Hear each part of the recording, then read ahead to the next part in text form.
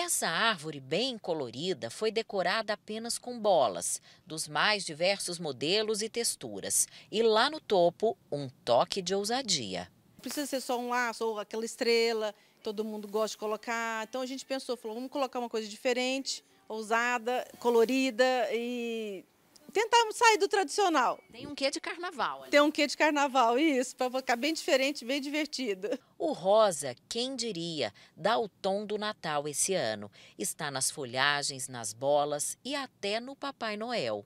Ainda para quem quer inovar nas cores, tem a Copa do Mundo aí para inspirar. É algo que envolve a família toda. Então, criança, homens, mulheres, todo mundo torce, né? Então, acho que vai bem em todas as casas. O rústico vem com força também este ano. Até folhas secas viram enfeites. E o capim desidratado ganha lugar de destaque. Essas bolas foram feitas com casca de coco. Ela é de isopor por baixo. Aí nós revestimos ela com casca de coco. E o, o acabamento aqui, essa parte de cima, é feito com corda de sisal. E aqui por cima a gente finaliza com uma bolinha de madeira. Por mais que as decoradoras sugiram variações, a maior procura ainda é pelo tradicional. Tem gente que fala, não, eu quero tradicional. Até a gente tenta montar outra, não, eu quero outra cor, mas chega em casa, aí fala o marido, não, eu quero aquela cor tradicional, eu quero vermelho, verde ou dourado.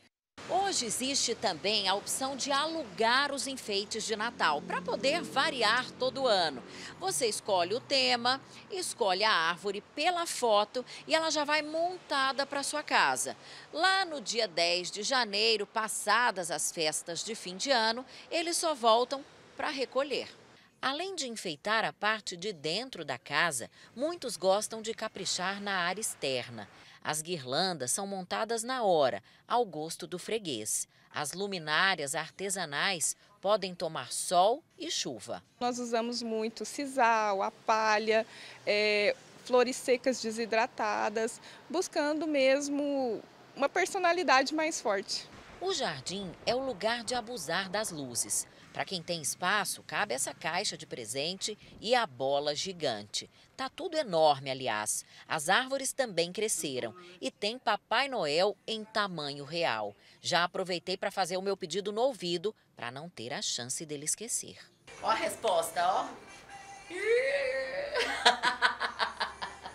Esse é um mercado que exige criatividade, renovação e divulgação para enfrentar a concorrência. Os comerciantes podem aplicar sorteios, entregar brindes, fazer frete grátis ou entrega grátis para a região e outros benefícios que vão ajudar aí na decisão de compra do consumidor.